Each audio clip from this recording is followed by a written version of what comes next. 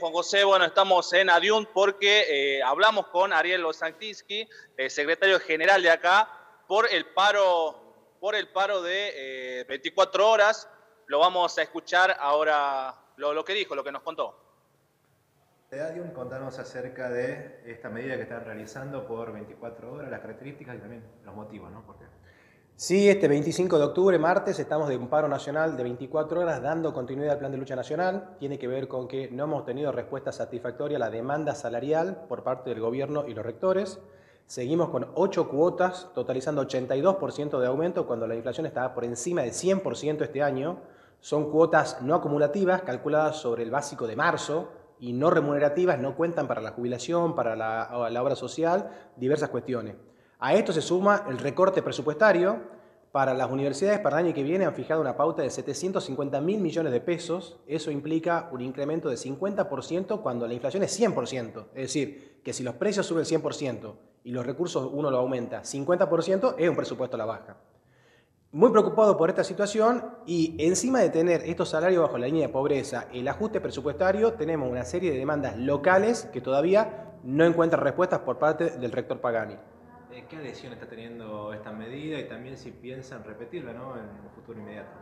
Creo que la decisión es importante, hay que tener presente que estamos a fines de octubre y sin embargo, siendo largo nuestro plan de lucha, todavía eh, es importante el acatamiento en las escuelas preuniversitarias, aproximadamente 85% en el caso de las escuelas, 70-65% en el caso de las facultades y hoy vamos a estar en el Consejo Superior a las 17 horas, algo se va a hacer presente porque queremos que respeten el convenio colectivo de trabajo y los acuerdos paritarios.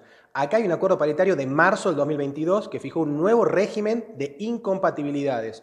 El anterior régimen era del año 94 y violaba el convenio colectivo de trabajo. Sin embargo, estamos en octubre y el rector todavía no lo ha homologado y el Consejo Superior no lo ha reconocido. Y encima de esto, en vez de ingresar a la docencia por concursos públicos y antecedentes y oposición, vemos que hay muchas autoridades que designan a dedo personas para ingresar en cargos. No estamos de acuerdo, están violentando nuestro convenio colectivo de trabajo, estamos con mucha bronca y con mucho malestar. Muchas gracias. Gracias, este, Fabián. Ahí estaba la palabra de Osatinki. Bueno, me parece que Fabián Córdoba no me escucha. Ahí, lo escucho, lo escucho. Bueno, se me entrecorta lo que es el retorno. Lo escuchábamos ahí a Ariel Osantinsky, secretario general de ADIUN, por eh, los docentes. Por, eh, bueno, los docentes, como le decía, se me entrecorta mucho el retorno que van a estar hoy a las 4 de la tarde en el Consejo Superior. Otro, otro tema a, tocar por las medidas que se van a tomar. Bueno, perfecto, Fabián, muchas gracias. Lo esperamos por, por la radio al mediodía. Muchas gracias, Fabián.